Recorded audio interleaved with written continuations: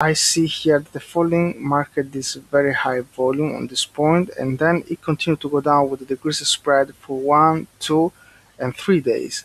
So I had this high volume here and three days later I had the reversal point.